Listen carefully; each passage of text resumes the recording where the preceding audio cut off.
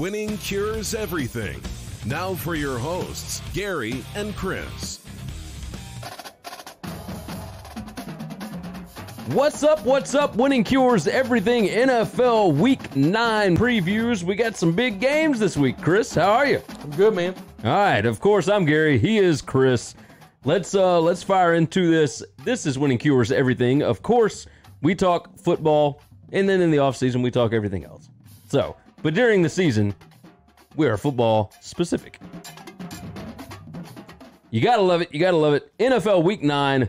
We uh we do have some big time matchups this week, and of course, us talking about it is brought to you by Tunica, Mississippi, the South's premier sports gambling destination. They got six, count them, six incredible sports books. You can find more information on them over at tunicatravel.com.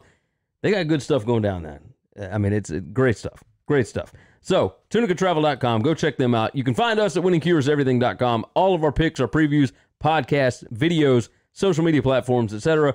Go check that out. The football picks contest. Stacy Lewis won last week, went 8 and 2 and won the tiebreaker. Got a $50 gift certificate at the steakhouse down at I think Horseshoe and then a $25 free play at Fitz or something like that. Uh, great prizes every week. Brought to you by Tunica, and they are awesome. So it's free to enter. Go in and check it out. Of course, uh, last week I said Stacy Lewis won. Every week we've had a different winner. It's always a good time. We get the stuff mailed out to you. You go down, you take a visit. It's a fun time. So back to us though. If you're on YouTube, hit that like button, hit that uh, subscribe button, leave some comments, share the show out, tell everybody about it. If you're listening on your favorite podcast app, make sure you subscribe, make sure you click like or whatever it is, and make sure you leave a review. Five star written review. If you write a review, we'll see it and we'll read it on the air. We'll talk about it because some of you guys are funny. Some of you guys are jokesters, and we like that. So, uh, so go leave a review on Apple Podcast. We appreciate you guys for doing that. Let's fire into game number one. The Patriots at the Ravens. This is Sunday Night Football, 7:20 p.m. It's live from Baltimore. Lamar Jackson against Bill Belichick's defense. That's going to be a matchup to watch. Right? Sir. Uh, the Ravens defense has been pretty good. Yeah. So Brady and that bunch going against, you know, Marlon Humphrey and, and all those linebackers, all those defensive linemen. That's going to be fun to watch. This is a fun game. Yeah, this should be a really good game. Uh, last week, the Browns were able to run on the Patriots. The uh, the Ravens like to run the football, so Oh, yes. that might help them. Also, keep Tom and them off the field. Uh, maybe try to wear that defense down. The secondary can't pick the ball off if you're not throwing it a lot. Um, so that could help. Um, and then the other thing is, I'm going to try to stop saying um. Tom, you know, he's 42 years old. He's made a point to where he doesn't care. Nothing he does right now matters. Yeah. And so if you're coming at him, he's just throwing the ball on the ground. Oh yeah. They blitz him and he can't pick it real quick and nobody's open real fast. He's he's just throwing it away and living to fight another day. I mean, smart quarterback play. Oh yeah, well for a 42 year old man especially, he's not taking those beatings in October, November. No. No Wait, chance. he, he'll hang out in that court in, in, that pocket in January. yeah. No, He'll I agree those with you. hits in January. I agree. Um, and and I think that's one of the ways he's been able to continue to play. It's also a reason why at some point in time every year we decide to bury him, and we say, "Oh, this is the old Tom. this is Look how this bad he's looked. He hasn't looked great. He's struggling. He's this that, and another." And then in the playoffs, he cuts people to pieces. Um, I, I think a lot of that is is he, he's just if you come at him, he's just going to throw the ball away. And if they lose this game, they lose. Now he wants to win every game, ultra competitive, but I I think they'll be okay. Yeah. No, I think I, they'll definitely be fine. Uh, I think that this team is is shooting for undefeated. I, I think that's what they're looking for because they've made it like this far. They've got a real chance. The schedule sets up nicely. They won the first half. Yeah. And and I mean the only thing that is left for them to do, really, for for Tom and Bill is you get that undefeated season. to do something nobody's ever done. Go 19 to oh. 0. That's that's it. Right? That's the only thing. And I know it's a completely outrageous goal. Yeah. But once you made it through eight of them, it's like I don't know that they care about that so much. Maybe they do, just because they're playing for God status. yeah, they're playing for legacy. Yeah, well, the, that's the thing though. Their legacy's already cemented. Oh, I know, but it, it, it if you go nineteen and zero, along with all the other stuff that has happened, like it, there will never be anybody better ever. I, I agree, but but there's already. I don't think that that's, what- necessarily the whole goal. The goal is to win, win a championship. That's right. Yeah. yeah. Win. What's his favorite ring? The next one. the next ring. That's that's you know that's just the way he's wired, man. He's different than everybody else.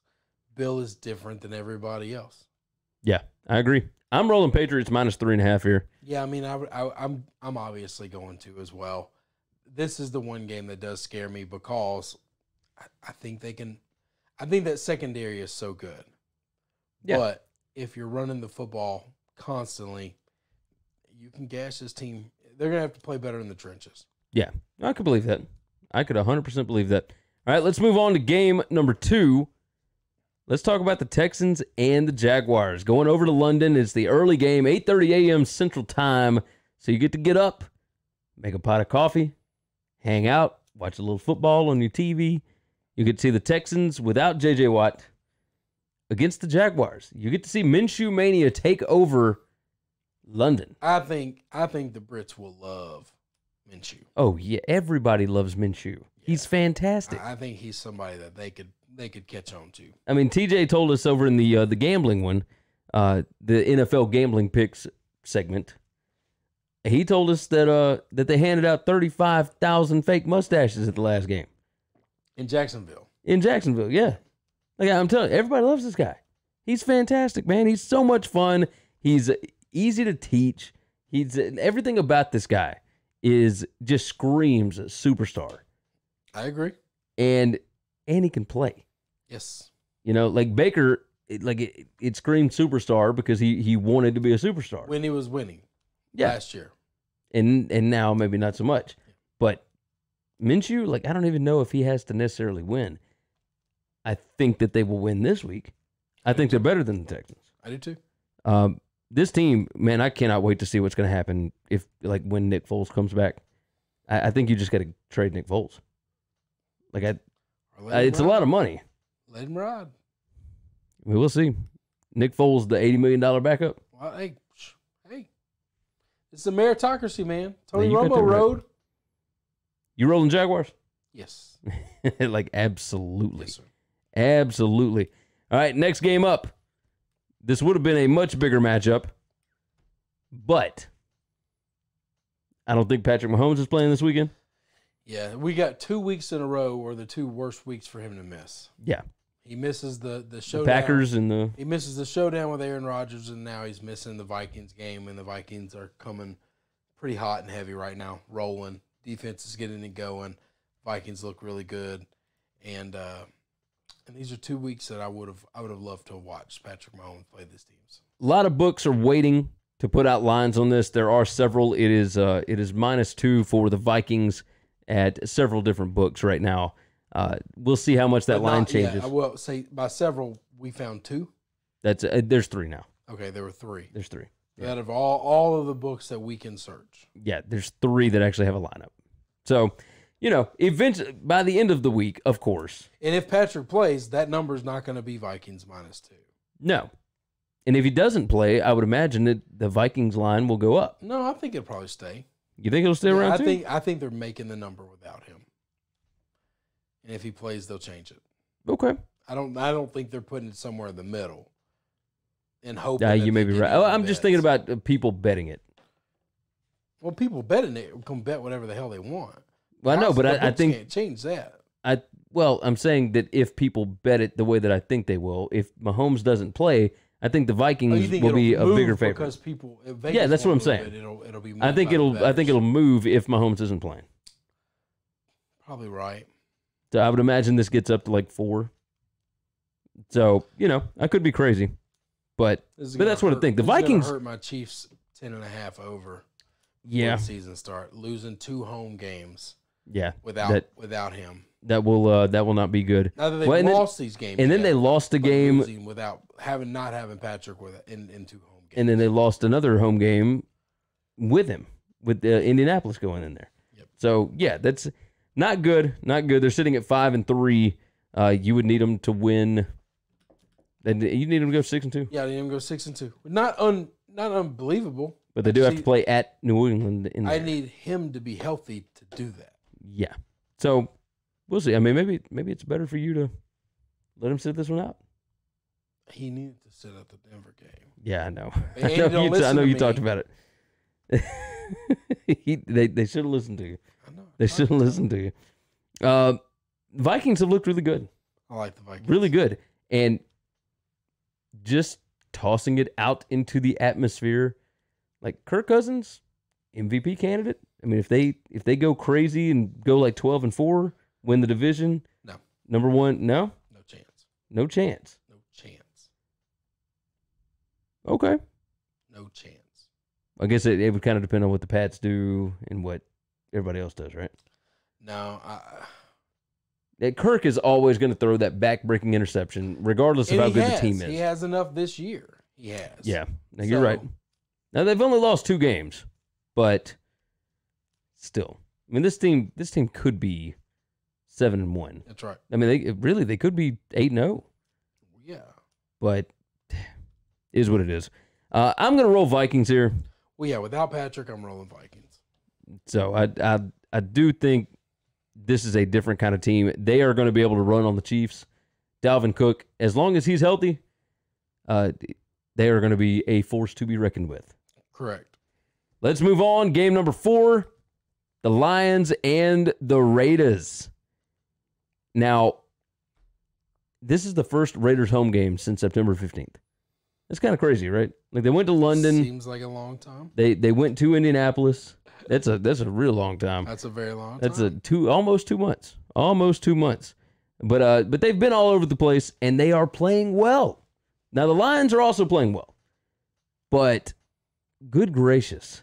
Oakland has has really shown improvement this year. Derek Carr looks good. Uh, everybody wants to talk about how he may not be Gruden's guy. But man, he is making it real, real hard. I don't know what he has to show Gruden. That's what I, I, I'm Like, in the same are- boat. What is Gruden looking for? I Tua. I I mean I if he was looking for Tua, like you'd kind of want to be losing. I would think. He's not looking. I don't think he is either. I don't know what you would expect more of a quarterback than what Derek Carr is providing. I don't either. And and last year it that was not all on Derek Carr. That was offensive line troubles. You didn't have a running game. Your defense wasn't worth crap. They their free agent signings this year have been incredibly successful. Their draft was incredibly successful. That's right. Like they they hit on some picks. Like Josh Jacobs, They had a bunch of picks, Yeah. and they've done well with them. Josh Jacobs has looked good. Uh, Ferrell has looked good.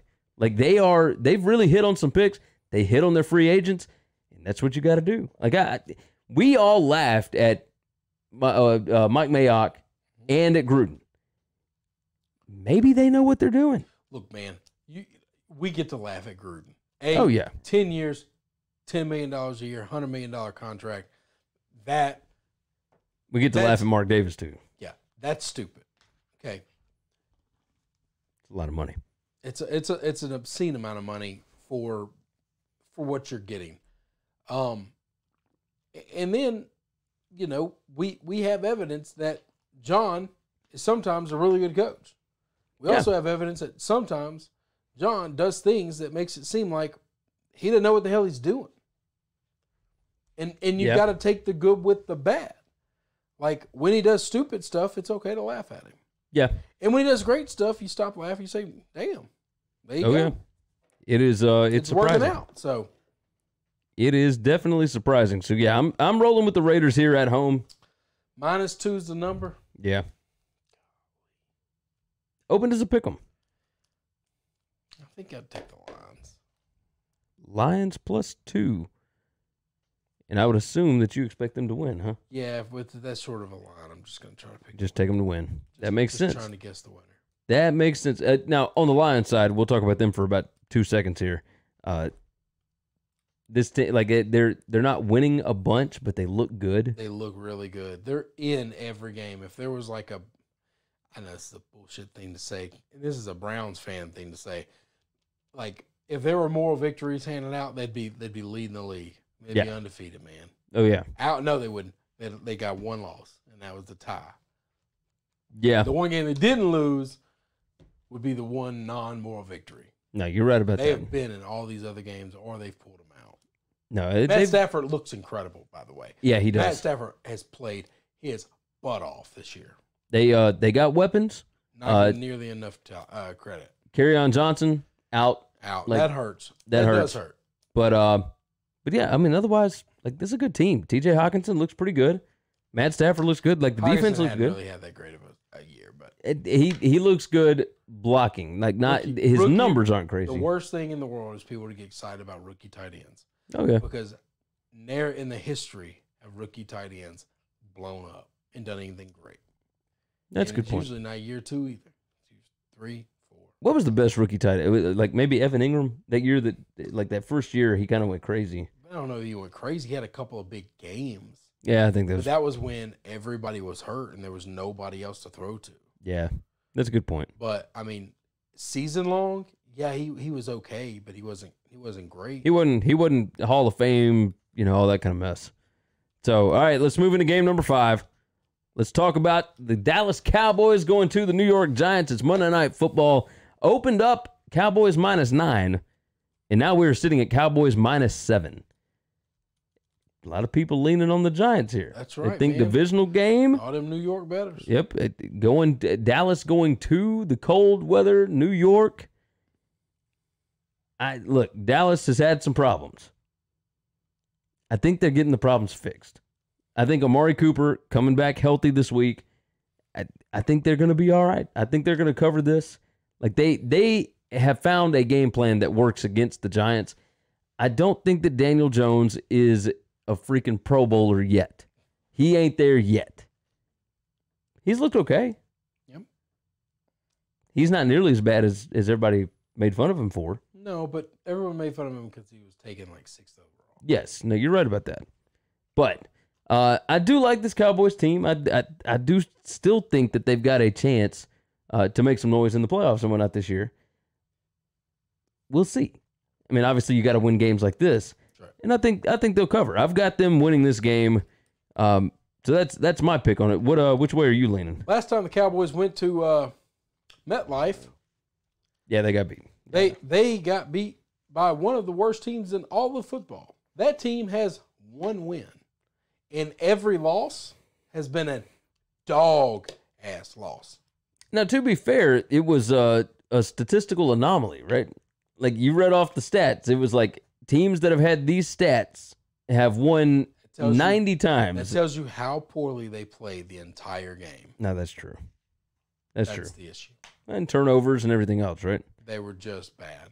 Yeah. And that team, I do believe, is worse than this Giants team. Oh, 100%. I'd, I'd bet the Giants would be favored by six, seven this is a over the Jets. situation where I would take the points and I'd, I'd pick the Cowboys to win.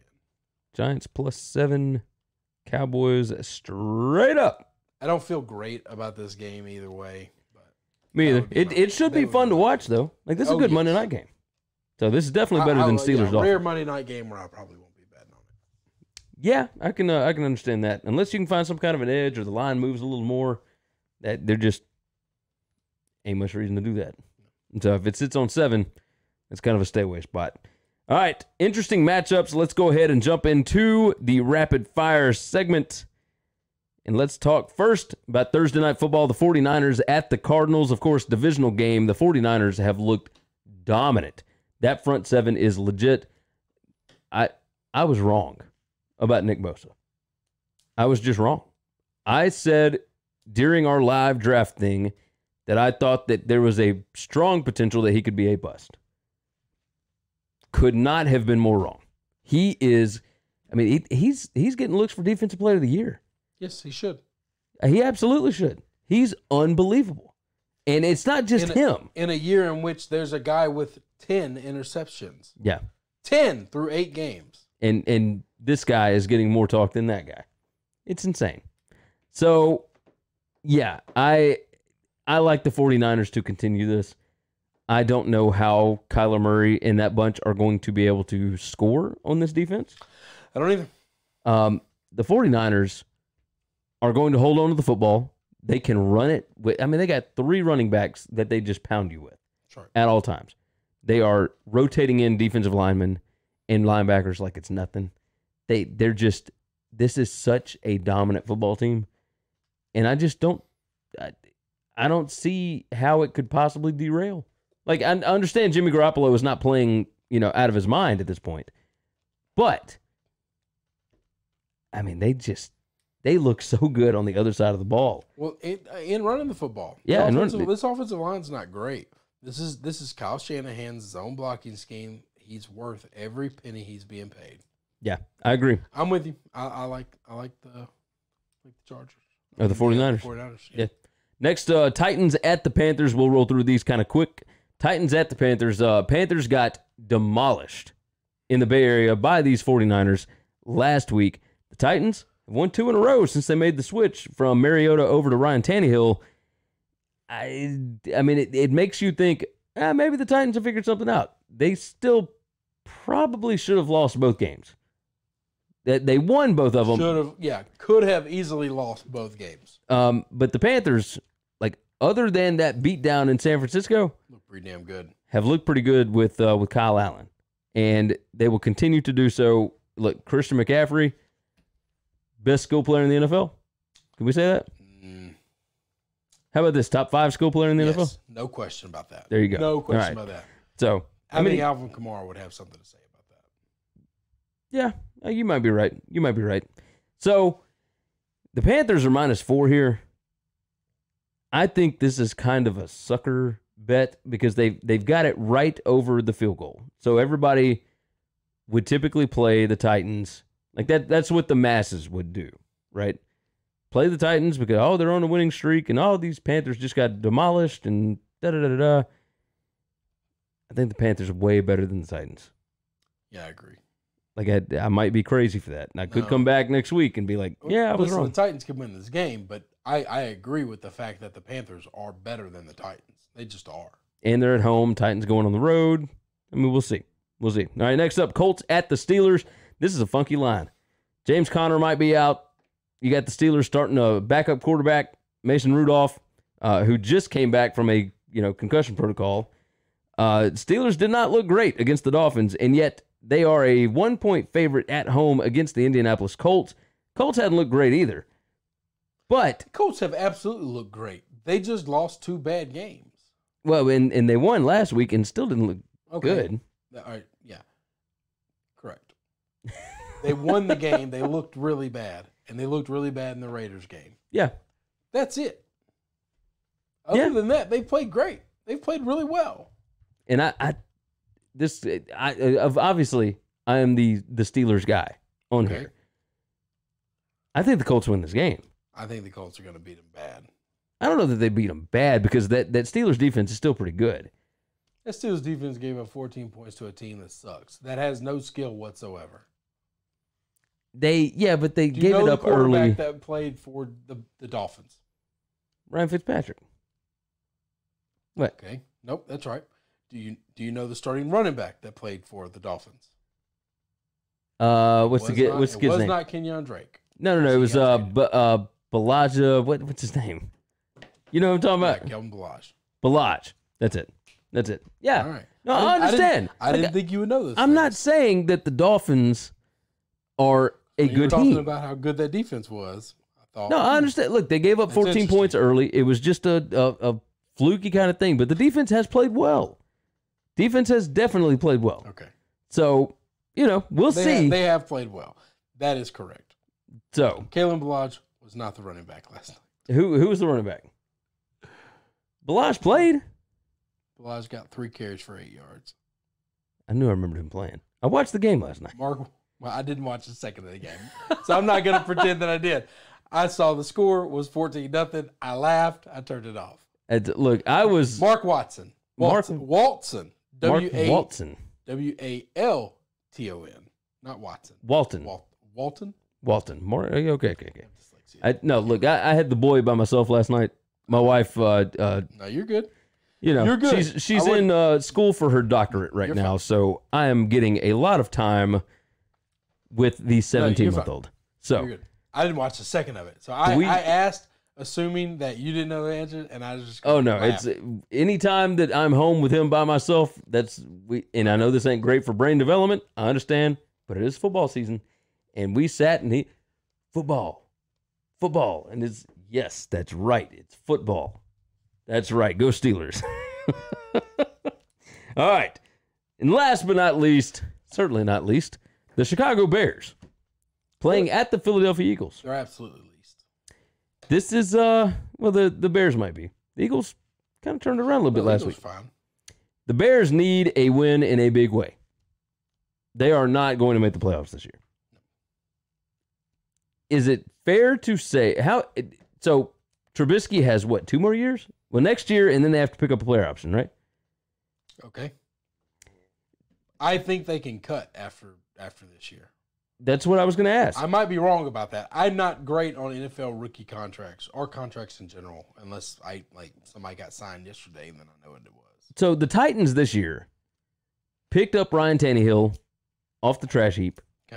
And brought him in just to give a little bit of a competition with Marcus Mariota. And he won the competition. and he won the competition. Next year, you've got Mariota. You've got. I wouldn't imagine that the Bucs keep Jameis Winston. can't can't can't imagine they're There's gonna do that. there's several different other options out there. Andy Dalton, of course, lost his job. Any of these, I think, might work better for the Bears than what they have currently. Is that fair to say? I I think there's gonna be a quarterback in this draft for them to go get. They don't have their first round pick. I get it. Somebody there's a there's a crap ton of quarterbacks coming out in this draft. Somebody's falling to the second round. That's just happening. Yeah. No, you're probably right. I mean, the the, the Broncos got Drew Lock in the second round last year, Yeah. and everybody thought that he might be a top ten. Yeah. So, So it- somebody somebody in this draft is falling. Yeah.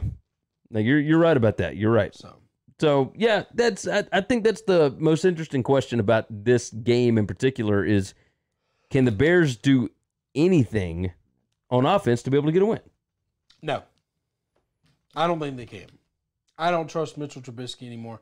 And you know who I'm also losing faith in? I think I'm losing faith in Matt Nagy. Because of Trubisky or See, here's the problem. I watched other OCs and other head coaches that are offensive minded guys take mediocre to bad quarterbacks and at least put together some semblance of an offense. I mean you've you've seen guys take average quarterbacks and turn them into world beaters. Like it, And- And he, we can't even get like a consistent, like anything that semblance a real offense in Chicago. yeah, you should be able to put together some kind of a game plan to to make the guy successful. How right? many how many quarterbacks went down and backups came in? And like Kyle Allen looks pretty good. Yeah, he's a backup. Gardner Minshew. Gardner Minshew. Gardner Minshew's a rookie. Yeah, like and Like, and Jacksonville is not known for being like, Like they're not known for their offensive juggernaut. Yeah, they're not No. known for offensive prowess. this is this is what I'm saying about how much of this is. No, listen, don't get me wrong. Trubisky's got to go situation, yeah, but but this might be a Nagy got to go situation too. Man, that's crazy. He's He only was- been there like three brought- years. He was brought in fix the offense. They've brought in three or four guys in the last couple of years to fix the offense. Now you know their offensive coordinator was Marcus Mariota's offensive coordinator at Oregon the last two seasons he was there. I don't know that that matters. I'm just saying it. Mariota did outstanding things at Oregon. I was in college. I'm just saying. There's there's at least a little familiarity there. Mariota at I- Tennessee, I need to figure out why Mariota Mariota had five different offensive coordinators with the Titans. I understand it's the NFL, but that's got to be tough at some point. At some point in time, they're not out there throwing the football for you. I understand that. Now he's not giving the ball away, but I mean, it could it could very well be all of the coordinators. It's totally possible. Either way, all right, that's going to wrap up this week's NFL Week 9 big game previews. I guess some of these are big games. Anyway, all right, this is Winning Cures Everything, of course. Uh, go over to winningcureseverything.com. Check us out over there, all of our social media platforms. We're on Facebook, we're on Twitter, We are on YouTube. If you're watching on YouTube, hit that like button, hit that subscribe button. Tell us what you like this week, what you don't like. Tell us uh tell us who you think should be the next quarterback for the Bears. we'll uh we'll get into that in the uh in the comments. If you're listening on the podcast, Apple Podcast, Google Podcast, Spotify, etc., tell all your buddies about it. Hit that subscribe button. If you're on Apple Podcast, make sure and leave us a nice five-star written review. We'll read it on the show if you're funny enough. Even if you're not, we'll probably still read it because we enjoy these things. But uh but yeah, leave us a review. Tell us uh, what you like about the show, man. We we really appreciate you guys coming in here with us every week. We have a damn good time during football season, and uh, and in the off season, of course, we continue to do this. We talk all the latest news, all the all the whatever. So we keep it going even after football season. So make sure and stick with us. And of course, we appreciate Tunica, Mississippi, the South's premier sports gambling destination. Six incredible sports books you can find more information about them over at tunicatravel.com. We highly recommend everything down there. Like we make the trip regularly. It is awesome. It is a short drive from Memphis. Uh, so we we love it down there. All the sports books, everything else, they are doing some wonderful stuff. Go check them out. Tunicatravel.com. We appreciate you guys being here. We will see you all again next week.